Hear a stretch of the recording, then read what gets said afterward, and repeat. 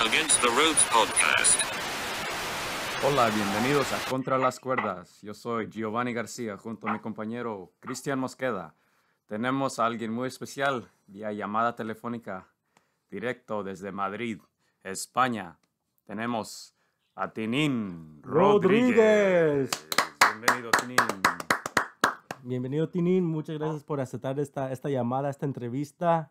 La verdad que este, te estamos siguiendo este, muchísimo en, ah, en Instagram y miramos lo que estás haciendo allá con Maravilla y lo que estás haciendo con muchos peleadores de España. Entonces, este, bienvenido, bienvenido.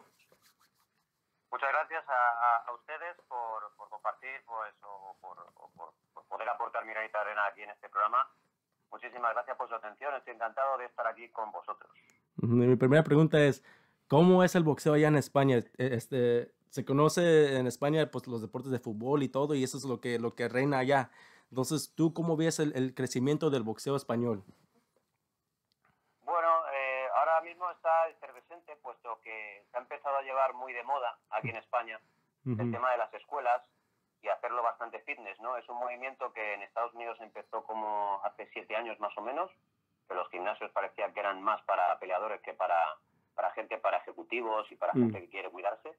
Y esto se está implantando también en España y está funcionando muy bien y está sembrando ese ferment para que, para que pues cada vez haya más público, no solo gente de barrio sean boxeadores, sino que futuros eh, directores de cine, jueces, políticos apoyen el boxeo mañana, ahora que son pequeñitos y están entrenando, mañana sea público de, de- de poder aquí en España. O sea que hay boxeadores eh, también eh, de- con muy buen eh, con, con muy buena muy buena técnica, hay entrenadores muy formados, con buenas metodologías. Así que bueno, estamos viviendo un poquito, digamos, la siembra, pero esta siembra tiene muchísima, muchísima buena forma y simplemente hay que esperar. Perfecto, perfecto. Tinín, ¿puedes eh, explicarle un poco a la gente qué exactamente es lo que haces allá en el boxeo en, en España? Bueno, pues en, en el boxeo en España y en todo el mundo, pues soy partícipe y formador de, de vendaje. Eh, soy, soy docente de la Universidad del Consejo Mundial de Boxeo en la parte del vendaje, en la que el último curso que hicimos lo hicimos en, en Cancún, en la convención de la WBC. Mm. Y actualmente también soy entrenador de mi escuela, eh, que se llama Detroit Boxing Academy, ahí en Madrid. Y bueno, pues tenemos un grupo de profesionales, tenemos un grupo de boxeadores amateurs, y entre ellos, pues como sabéis, pues está Sergio Martínez, y hay prospectos muy importantes de nuestro país también entrenando. Y entonces nosotros somos muy, muy gran fanáticos de, de Sergio, lo que hizo, este, sabemos toda su, su historia de cómo tuvo que salir de Argentina y tuvo que you know, ir allá a España a buscar este, una oportunidad para cambiar su vida. Ah, ¿Cuánto tiempo ha- has conocido a, a Sergio? Bueno, pues yo tengo 37 años. Yo llevo conociendo a Sergio desde que yo era amateur y yo le veía en un gimnasio que estamos también cerquita de donde yo lo tengo ahora. Y yo pues era un chiquito, tendría unos 18, 16 años por ahí. Wow. wow. Y le veía entrenando, venía de España, sabíamos que era un argentino que, que venía con una mano delante y otra detrás, como decimos aquí, que viene sufriéndolo. Y, y era un tipo con mucha magia, eh, es un, un tipo encantador. Como digo yo siempre, como digo de los míos, es un niño muy bueno, muy buena persona, con muy buena vibración y siempre ha confiado en las energías donde se ha movido y, y- y ha conseguido lo que lo- su objetivo, lo que él tanto quería, con mucha fuerza, con mucha voluntad, con mucha resistencia, como él tiene tatuado en el brazo, aquello que quiso lo consiguió. ujú. So, Maravilla empezó en el boxeo un poco, un poco Tarde. tarde, ¿no? Ah, para muchos. Pero ¿qué le veías tú cuando él empezaba a, a esa edad? ¿Qué le veía yo a Sergio cuando era joven como peleador? Sí, como peleador. Bueno, pues como peleador era diferente, porque era un boxeador heterodoxo, con las manos abajo, su capacidad de reacción, de, de quitarse los golpes, de contragolpear. Él tiene sobre todo, me llamaba la atención eh, la precisión que tiene. Él, como digo yo, le, le digo hoy en día a Sergio, no digo, parece mentira que tengas gafas casi no ves el móvil de, de cerca, ¿no? Pero la mano te la pone en la punta de la barba, ¿no? Como decimos Mm, me llamó la, la atención eso, la capacidad que tenía para, para precisar los golpes y para defenderse. Sí, hablando de esa precisión, eh, el knockout de la década para mí fue el, la segunda pelea contra Paul Williams. Ah, ¿Qué recuerdas de esa pelea y, y qué pensaste con, en, en, ese momento cuando sucedió, sucedió ese gran knockout? Bueno, pues eh, yo pensé que, que, era cuando vi el primer amago que él hizo, porque ahora cuando se ve el combate se ve que, que hizo un amago anterior a esa mano. Sí.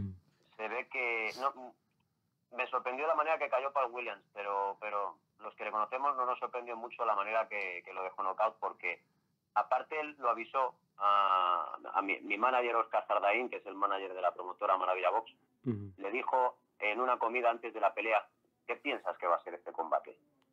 Y bueno, pues Oscar dijo, yo creo que va a ser un combate muy técnico, muy bonito, que te lo vas a llevar todos los puntos. Y Sergio -huh. dijo, no, yo lo voy a noquear. Sí. Y así fue. Lo tenía, lo tenía muy, muy claro. Sergio es un tipo de una mentalidad muy, muy fuerte. Sí, no, la verdad, para llegar a esa cima, a los niveles que llegó, ya, todo lo que tuvo que pasar, ahí se nota la, la, la fuerza mental que él tiene. Ahorita se, se ha publicado él un, un update on, en el Instagram que va a regresar. Se, se, ha escuchado eso por varios años. Este, ¿Tú qué tan seriedad le, le ves a Sergio en, en, este regreso, este anuncio que, que, va a regresar este año? Bueno, pues eh, Sergio empezó así como el que no quiere la cosa, eh, recuperado de las rodillas. Uh -huh. Vino de un tratamiento de células madres que le vino muy bien y luego estuvo en unas eh, aguas termales ahí en su país que, que, nada más terminar las aguas termales le dio hasta por correr y parecía un milagro de Dios, ¿no? Entonces él empezó a, a vacilar con que quería pelear y que no, no estaba a gusto como había terminado la función, mm. puesto que él no pudo, no, su cabeza podía y su cuerpo, pero sus rodillas no. Entonces cuando él tiene las rodillas bien, empezó a, a me dijo, Tienen, quiero pelear y, y quiero que, que trabajemos juntos yo lo vi un poco locura, yo le dije, Sergio, a, a, a, base de qué, ¿no? Ya has conseguido la gloria, ya es repetir un poquito lo que, lo que ya, lo que ya tienes, tienes una vida tranquila.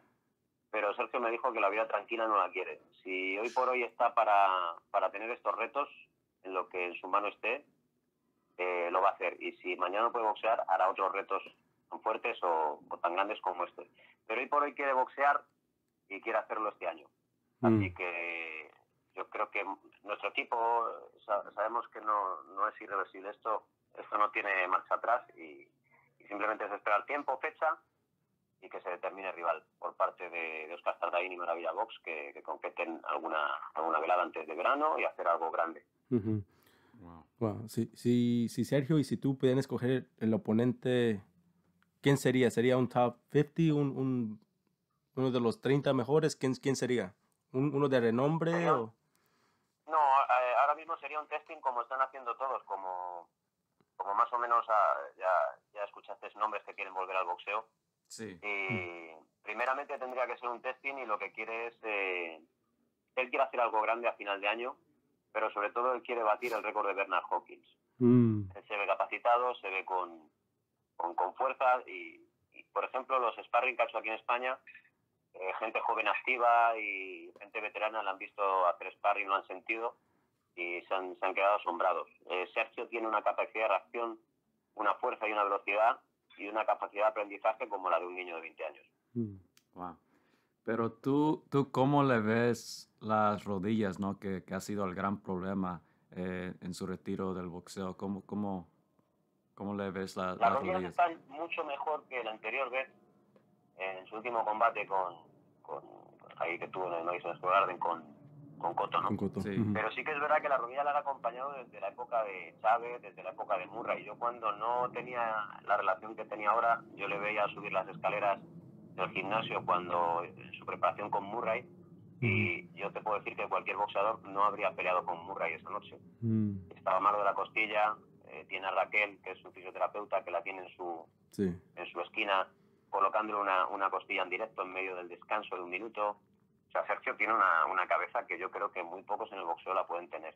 Lo que pasa es que la gente no sabe realmente cómo Sergio ha ido a más de una pelea. Si lo supiera, Sergio estaría aún más valorado. O sea, si, si hubiera hecho un seguimiento de algún tipo de reportaje donde realmente él no hubiera ocultado qué tendría de cara a, a los cuatro o cinco últimos combates, os quedaríais de piedra, de verdad, porque es, es, el poder mental de Sergio va más allá. Mm. Wow.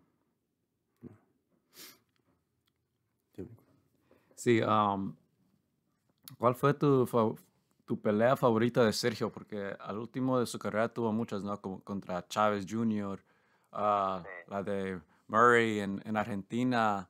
ah, ¿Cuál fue tu, tu favorita? Pues mira, mi pelea favorita fue eh, con eh, Pavlik, Mm, fue Mm, también sí. con, con Chávez. Y, pero conociendo ahora a Sergio y repitiendo su último combate, me gusta su combate, pero no por el tipo de boxeo que, que hizo, sino sabiendo y conociéndole todo lo que tuvo para ese combate y que sobre todo Sergio no justifica. Sergio, la Mm. última derrota que tuvo, no pone ninguna justificación. Sí. Somos nosotros. Eso le hace más valiente y, y de verdad más humilde en la derrota. Por eso valoro mucho cómo pudo recuperarse de esas, de esas tres caídas y que hasta que su entrenador no tiró eh, la toalla con, con buen criterio, por supuesto, mm, no, no abandonó. Me gusta mucho todo eso, ¿no? Son como las lecciones que daba Yuri Ortiz Gamboa a Chávez, ¿no? Que Chávez no quiso, no quiso seguir y estaba en su mano y en este caso Gamboa supo seguir y, y- y no, pod- no podía, ¿no? Eso es lo que valoro mucho de cada boxeador. mm, No, muchas veces no solo el boxeo. ¿En, en qué pesaje va a regresar Sergio este año, si, cuando regrese? Pues eh, todo, dependería, todo dependería de- del rival, eh, porque Sergio se encuentra cómodo en Super Welter, es capaz de la Super Welter, eh, porque hicimos una preparación, eh, digamos una emulación, ¿no? De, de- de una preparación real y terminó con un sparring a puerta cerrada en 12 rounds y pudo dar los 71 kilos, ¿no? Eh, estaríamos hablando en libras ahora mismo, te lo tengo que calcular porque aquí en España siempre hablamos de kilos. Pero bueno, lo que es un super welter. 154. Eh, dependiendo del rival, podría ser un medio, podría ser un supermedio. A Sergio le gusta mucho, está ahora mismo muy, muy, muy encabezonado, como decimos aquí en España, con, con la pelea contra Billy Joe Sanders. Porque Oh, eh, yo sé que lo puede ganar y él también lo puede ganar, sobre todo por la última pelea que vimos. ujú, Lo que pasa es que Sergio sí es verdad que como Chávez, que como Billy Joe Sanders y como muchos boxadores, tienen la incógnita. Mucha gente dice que Sergio va a volver y volverá mal. Pero ¿y si vuelve bien? Y a Billy Joe a Chávez le cuesta un, le cuesta un disgusto, ¿no? Le cuesta una derrota. Sería irreversible para ellos y muy beneficioso para él. Por lo cual Sergio siempre tiene eh, poco que ganar aquí en este sentido, y, eh, o sea, po- po- poco que perder, perdón, y mucho que ganar en este sentido. Así que Sergio es una, una navaja de, de doble filo moralmente para cualquier eh, para cualquier hombre como puede ser Grillo Sandro o puede ser Chávez. Wow. So me imagino. Todos dicen que quieren hacer un par de peleas y luego pegarse con Sergio, que a lo mejor están esperando a que Sergio cumpla más años, pero de momento y por hoy no quieren. Quieren ver primero que ¿Cómo se Sergio toque pelo, como decimos aquí en España, y pruebe a ver, tocando balón, a ver cómo va. Wow. Así que, bueno, pues eh, tirar la moneda al aire y que sea lo que Dios quiera. Pero vamos, yo a Sergio le veo en plenitud de condiciones y muy bien. El primer asombrado somos somos todo el equipo que, que estamos ahí en Madrid. So, so el peso, como dijiste, depende del, del rival. Me imagino que también dónde ah, sería la pelea también depende del, del rival. Sí, así es.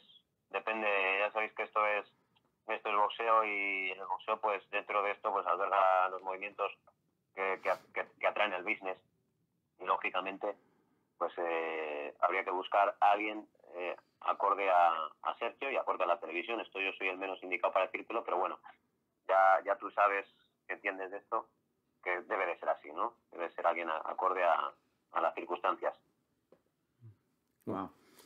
Esperamos, este, eh, cuando un, atleta tiene una, una edad más avanzada, cambia tal vez un poco el estilo o cómo él se enfrenta al boxeo en, esta, en, su nueva este, época. ¿Vamos a ver un cambio drástico en Sergio o no? Mm, No, yo podría ver un cambio en detalles, en habilidades, pero en pequeños matices. Eh, Sergio boxea muy bien eh, porque Sergio eh, tiene dos, dos conceptos que siempre nombra, que es el tiempo y distancia. Entonces, eh, eso no hay que romperlo de Sergio. Y, y Sergio necesita mantener su estilo para, para mantener, para mantener en, en esos dos factores esa armonía. Pero se pueden ver detalles, pequeños detalles donde, donde puede haber modificado un poquito eh, la posición de, de- de sus movimientos a la hora de defenderse, a la hora de, de tener un poquito más de recursos en la defensa el estilo eh, heterodoxo. Eh, pero, pero será el mismo Sergio, será el mismo Sergio, pero eh, aplicando un poquito más de inteligencia a todo lo que él ya tiene, porque cada vez se va haciendo más sabio. Y eso era lo que a él le dolía, que se ve en, condición, en, pleni- en plenitud de condiciones, se ve más sabio y quiere mostrarlo al mundo. Entonces Sergio ya ha sido campeón del mundo, ya, ya ca- casi seguro que va a entrar al, al- al Salón de la Fama. ¿Qué es lo que él te ha dicho? ¿Que quiere, quiere ser ca- campeón del mundo de nuevo? ¿O qué, qué, qué, qué más quiere él a poder lograr? Aparte Mira, de... él, quiere, él quiere pelear por su gente. Eh, a mí me ha dicho, porque le estábamos avisando gente, que, que, Sergio, eh, mira, te, te van a inducir al Salón de la Fama, no pelees, luego no podrás volver. Y él nos dijo que el Salón de la Fama eh, le importa y nos puede importar mucho a nosotros, pero él lo que quiere va por, por, por encima de eso, que es el pelear para él. Él lo que más ilusión le hace es pelear. Él no quiere algo para el futuro, él, Sergio, disfruta el presente y quiere saborearlo ya, él no quiere Salón de la Fama como nosotros podríamos quererlo, eh, quererlo ¿no? Para él. Él lo único que quiere y tiene en mente es pelear, y si tiene que sacrificar el Salón de la Fama por ello, lo hará. Yo personalmente me, me he quedado muy impresionado porque cuando uno ve que Maravilla quiere regresar, piensa que oh, quiere unas dos, tres peleas, pelear en- a lo mejor en Argentina, a despedirse ya del boxeo, ¿no? Pero como escuchamos, todavía tiene él mucha, mucha ambición. Dios quiera que, que- que pueda hacer lo que él lo que él quiere, ¿no? Sergio tiene mucha mente y eso va más allá. Hay gente que está predispuesta a entrenar, pero no tiene la mentalidad que Sergio. Y Sergio tiene una, una mente privilegiada para el boxeo, lo ha demostrado porque comenzó muy tarde en el boxeo y tenía una mente a la altura o la capacidad de, pues un libra por libra. Y no pudo hacer más quizás porque ese poquito más porque no, no empezó antes, no tenía recorrido amateur como pudieron tener eh, Floyd Mayweather o, o, o- o incluso Manny Pacquiao, esos tres eh, que había no ahí arriba en, su. Ujú. Entonces, bueno, pues Dios quiera que Sergio pelee y de la manera que él quiere y lo dice, porque lo que él quiere no quiere hacer una pelea de despedida, sino que quiere hacer algo serio y grande y que entretenga a la gente y sirva para una temporada. Tengo, tengo una pregunta más para ti, Tenín. Eh, ¿Cómo te ha contagiado esa energía a ti como entrenador, como fanático del boxeo? Bueno, a mí, eh, Sergio y yo tenemos mucho feeling porque, ante todo, aunque yo estoy haciendo esta entrevista con ustedes muy seria y me mantengo serio, somos, como decimos aquí en España, muy chorras. Muy chorras es, puede sonar mal, tenemos mucho sentido del humor durante mucho tiempo, ¿no? Y es eh, imprescindible pues el, eh, el tener esa armonía, el estar con buen sentido del humor, con buen feeling.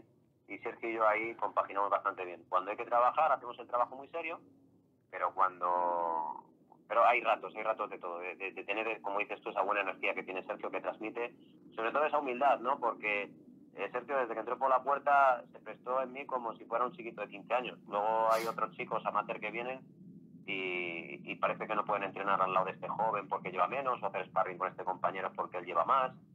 Y Sergio tiene una humildad de, de verdad, de, de un niño. Eso es para vivirlo y para que muchos aprendan al lado de Sergio en- en la convivencia sobre todo el trato y, y os sorprenderíais de, de lo amable que es con la gente eh, en persona.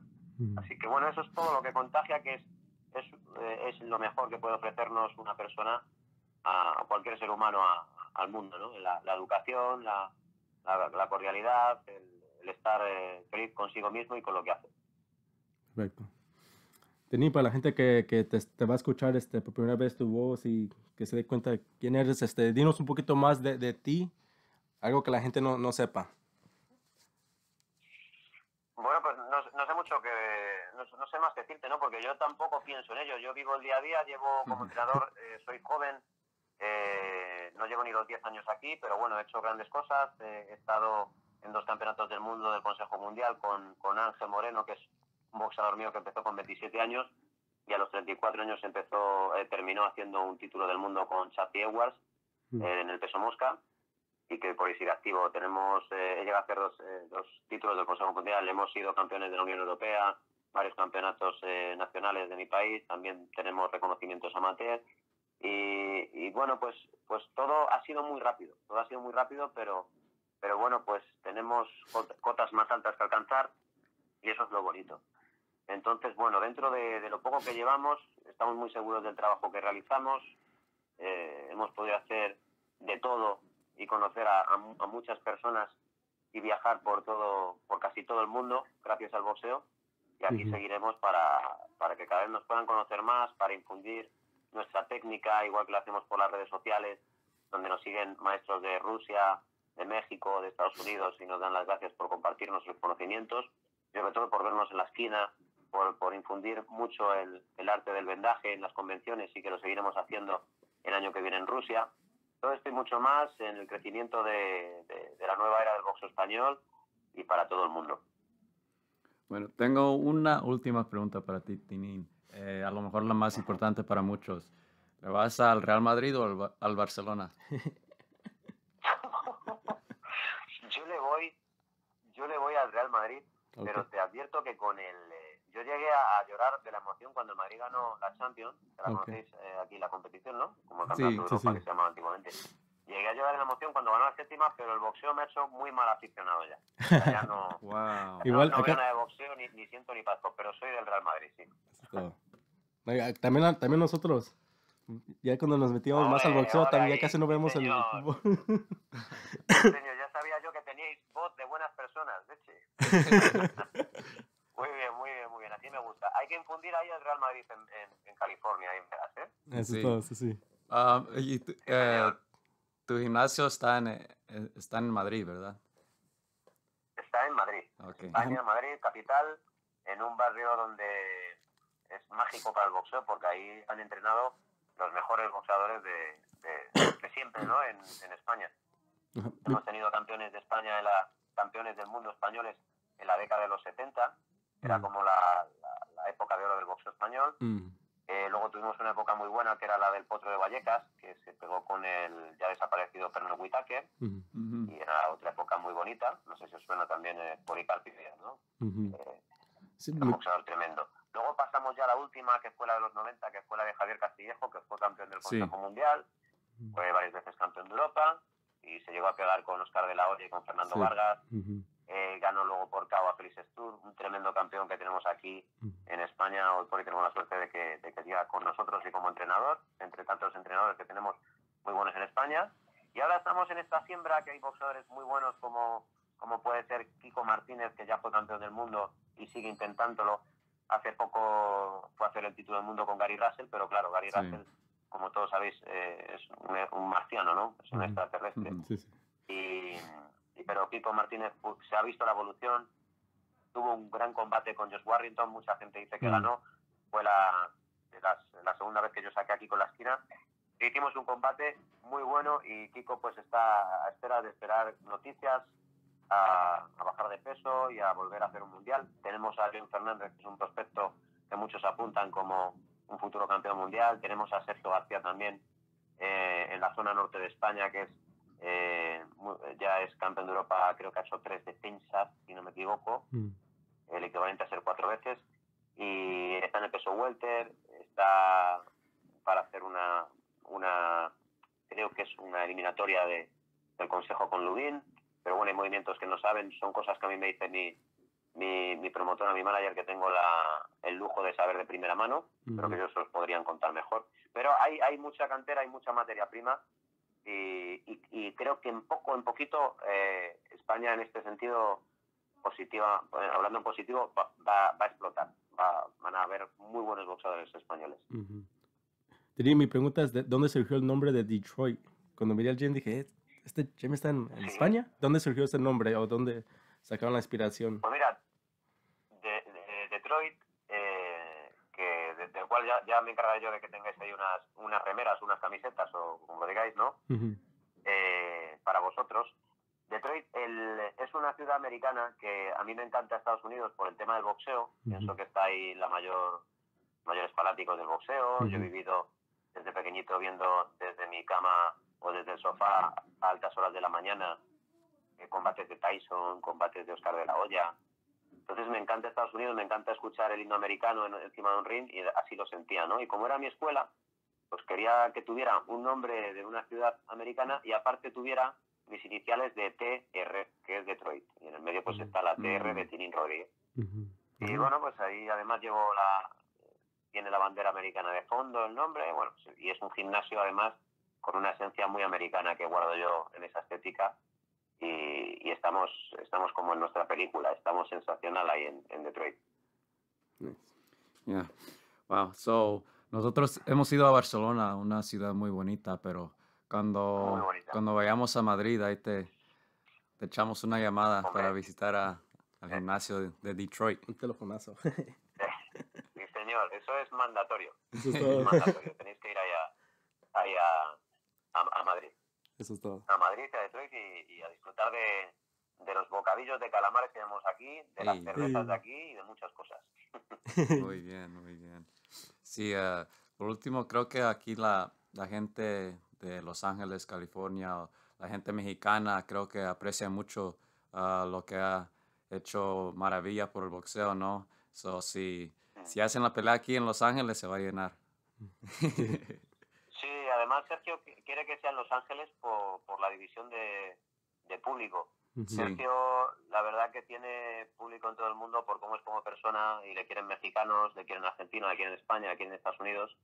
Y además él se ve mucho, él no tiene, es una persona que no tiene enemistad con ningún tipo de público. Él ama al público americano, a norteamericano, ama al público mexicano, eh, tiene infinidad de amigos, grandísimos amigos mexicanos eh, y en todas las partes del mundo. Entonces, eh, lo que él, él le gustaría hacerlo, de, de haberlo de haberlo hecho con Chávez, hubiera sido Sí. en, Mm. en- en Las Vegas, en California, en todo lo que sea esos alrededores, porque lo que es, por ejemplo, en Texas eh, eh, no querría acercarse, que es más o menos casi donde se aferra más Chávez, ¿no? Él quería un territorio más neutral. Sí. Aquí mi amigo Cristian fue a la pelea ahí en Las Vegas contra Chávez Jr. Oh, sí. Me dice que se fue, que se puso a cantar con los argentinos. Ya mero me, Oh, sí, señor. se me quedaban buena mirando. experiencia los- entonces. Ujú. No, sí, sí, la verdad Muy que buena, es un- buena. una grandísima pelea, un- una lección de boxeo que Sergio le dio y igual cómo, cómo no solo sobrevivió, pero siguió peleando esos últimos 30 segundos que la verdad que era de, de infarto para los que lo apoyan tanto. Pero la verdad que Pues es... sí, mira, yo, yo hoy por hoy soy entrenador y me acuerdo que lo estaba viendo en vivo con, con, con Oscar Tardaín. ujú, Yo no era el entrenador de Sergio, yo era un entrenador que empezaba, digamos, tenía mis boxeadores profesionales, pero lo estaba viendo a Sergio desde allí, desde España. Y cuando cayó, yo pensé que iba a pasar lo de Chávez con Maverick Taylor. Pensaba Mm, que era wow. como una, una, una, una cosa de, de- de- de brujos, ¿no? Sí. Pero al final aguantó y eso es lo que te digo, que solo Sergio puede hacerlo porque muchas fases en las que ha pasado Sergio, cualquier deportista se hubiera rajado, se hubiera, se Mm. hubiera ido atrás y Sergio de verdad tiene una cabeza impresionante para, para resistir muchísimo dolor, eh, muchísima tempestad en contra, un sinfín de cosas que Sergio le hace grande. Ujú.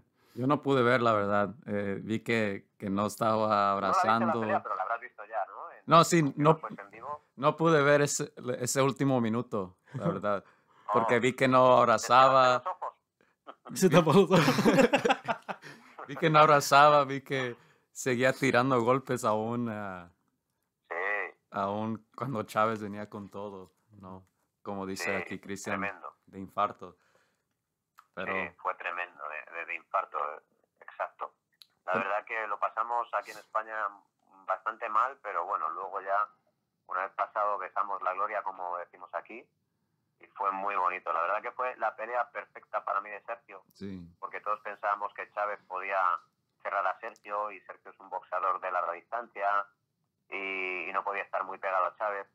Y la verdad que hizo, hizo una, una maestría de distancia. Sergio supo acortar espacios, supo hacer recorrer bien sus golpes, supo pegar abajo. Que Se- Sergio, hasta que yo no le he tenido enfrente, yo no sabía lo que pegaba abajo Sergio. Yo pensaba que él bajaba las manos, sí, boxeaba un poco heterodoxo, pues como podía hacer Ali, eh, Nassim Hamed, pero que Ujú. va, Sergio tiene aparte una pegada más dura de la que yo imaginaba y pega abajo muy duro, muy Mm. duro. Además que se toma el tiempo de tal manera que todos los boxeadores siempre eh, van a coger la mano, eh, agarrar, se dice mejor aquí, van a agarrar Mm. siempre mejor la, siempre van a agarrar la mano de atrás de Sergio. Eh, no sé si me explico bien, si hay Mm. algo, si hablo muy rápido, me decís. No, no, está Porque bien. Va bien. español a lo mejor me, Hablan Estoy más. tratando de hablar despacito y, y, y palabras fáciles, pero no sé si me entendéis. eh, Sergio tira muy bien la mano de atrás al cuerpo y hasta que yo no, no lo agarré entrenando no, no, no sabía yo tan, tan, tan la habilidad que él tiene, ¿no? Ujú, Con la mano de atrás y, y golpeando al cuerpo. Es impresionante. ujú. Sí, también otra cosa es que él perdió aquí cuando peleó en Los Ángeles, en Carson, California, contra Margarito. Así que si se hace otra pelea y puede ah, hacer esa revancha en términos, se- sería bien, ¿no? Sería buenísimo. Pero bueno, tampoco es cuestión de, de resucitar a quien no quiera, ¿no? Ujú, Sergio está activo sí. y está activo por su deseo y por su voluntad. Otra cosa sería renacer a alguien que quiera volver solo por el dinero, ¿no? Sergio quiere hacer combates de verdad y hacer combates de verdad es en la que en la primera pelea, disculpad, perdón, en la primera pelea puede hacer con alguien que, que sea para testearlo y no, no nos referimos a alguien muy malo, ¿no? Sino a alguien regular, lógicamente lleva fuera el boxeo eh, cinco, casi seis años Sí. entonces tiene derecho a testearse y, y una vez esa pelea luego ya quiere hacer cosas grandes. Depende del nivel que él pueda desarrollar, lo que sí es verdad que no va a tener nada que ver una pelea con la otra, porque Sergio, la capacidad de Sergio se adapta al nivel del rival. ujú. Eh, Sergio te puede hacer una pelea regular con alguien regular, pero te puede hacer una mega pelea con alguien muy bueno. Mm. Si, si tú pudieras escoger unos nombres que él peleara en los siguientes dos, dos a tres años, ¿cuáles serían unos nombres que, que a ti te gustaría que él pelease? Si él se mi- mira en un, en un nivel muy alto aún. Sería con, eh, con Billy Joe Sander, ¿ok? eh, sin duda alguna. Wow. Billy Joe Sander. Luego habrá varios nombres, pero Sergio es que de verdad es un tipo que, que tiene una facilidad pasmosa para, para coger peso y desarrollarlo en cada división. Y Sergio podría hacer cualquier cosa grande en cualquier peso. No voy a decir que el pesado o el crucero, pero sí podía llegarte a hacer grandes cosas eh, de supermedio y incluso una división más. Yo de momento tengo en mente a Billy Joe Sander es el que nos gusta y bueno, luego es cuestión de que esto siga desarrollando qué harán los boxeadores, cómo van a cómo van a estar eh, eh, cada uno, ¿no? Ujú. Billy Joe Sander sí que es verdad que también se apreció lucir mal, se apreció también tener una lesión de rodilla que acusó anterior. Y, y bueno, pues por ese motivo por el que Sergio ha mandado un mensaje y Billy Joe Sander o alguien ha dicho que primero querían coger a Canelo, nosotros pensamos eh, y nos ha gustado más la idea de que nos cojan ahora, de que ahora quieran la pelea, porque eso es un poco, nos sentimos como que quieren abusar, ¿no? Quieren probar primero a ver cómo está Sergio Sí. y, y primero hacer ellos una pelea de, de dinero por si acaso pierden. Entonces, que no haya miedo y haya magia y haya competitividad y, y- y haya una pelea real. Sí.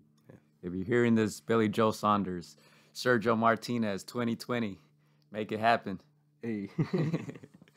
ok, pero eh, por último, antes de que te dejemos ir, eh, para ti, porque ca- cada quien ve el boxeo diferente, ¿no? A los mexicanos les gusta una cosa, a los americanos otra, a lo mejor a los españoles otra, pero para ti, ¿quién es el mejor boxeador hoy en día?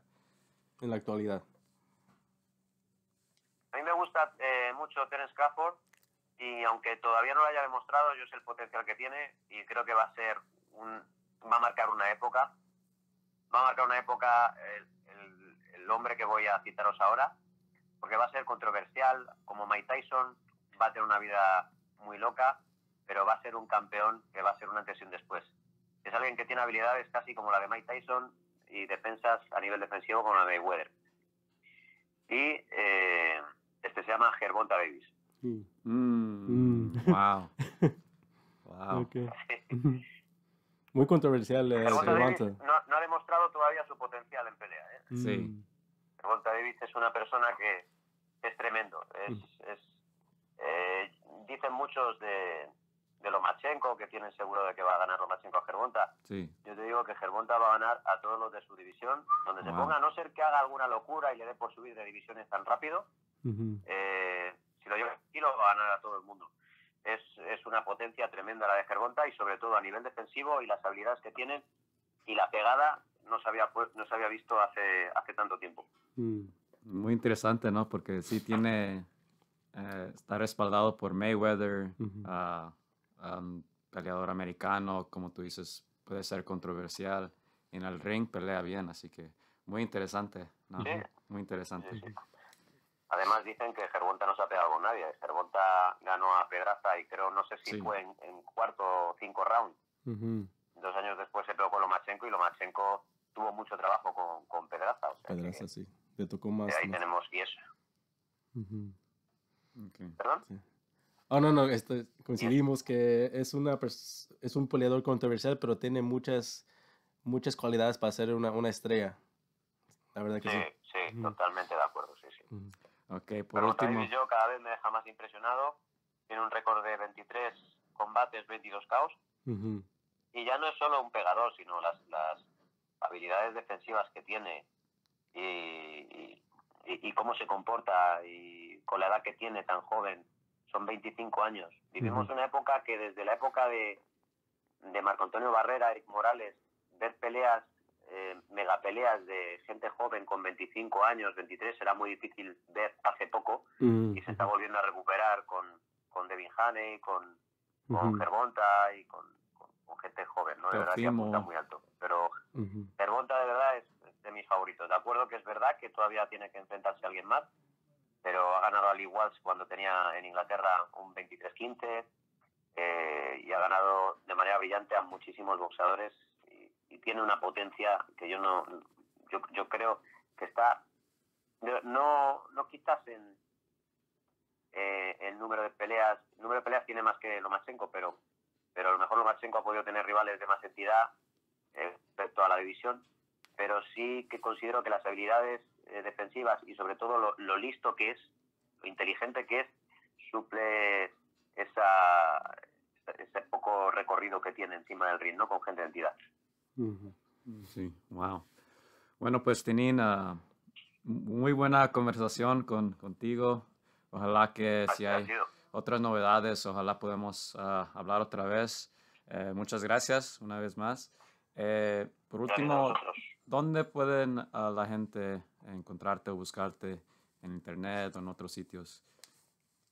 Pues mira, en, en Instagram, que es eh, principalmente la red social donde ponemos eh, muchas técnicas de boxeo, enseñamos muchas de nuestras metodologías, ya no solo de boxeo de- como técnica eh, a nivel técnico-táctico, sino también de vendajes.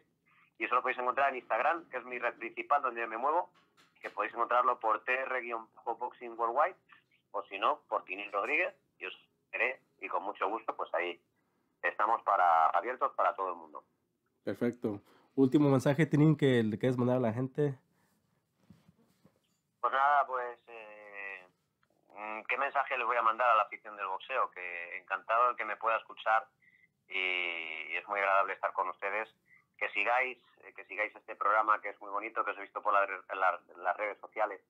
No os conocía porque por la lejanía, ¿no? Por España. Pero os agradezco y os, y os pone mucho en, en- en tutela vuestra profesionalidad que tenéis de, de querer llegar más allá a otros países, compartir conocimientos y conversaciones con otros profesionales.